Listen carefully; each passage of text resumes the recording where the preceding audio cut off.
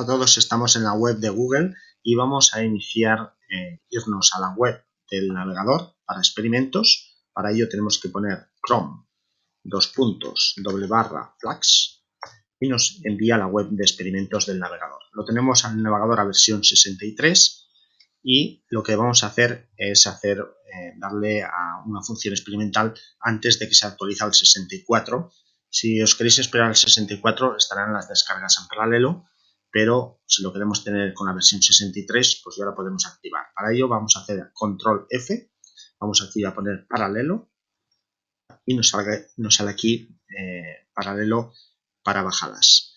Con lo cual significa que descargaremos un archivo mediante dos servidores y por lo tanto los tiempos nos recortarán a la hora de la descarga.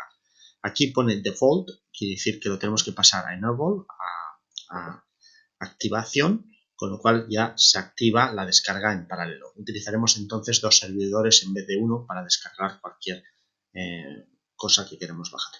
Y luego hay que darle a reinicializar. No le doy a reinicializar porque entonces se me para la grabación y por lo tanto no me puedo despedir. Le voy a indicar que hay que darle un buen like y suscribiros al canal, compartir el vídeo y luego sobre todo darle a reinicializar porque si no, no, no se cargará la activación. Y hasta aquí nada más, sobre todo suscribiros al canal, compartir el vídeo y darle buen like, like, like.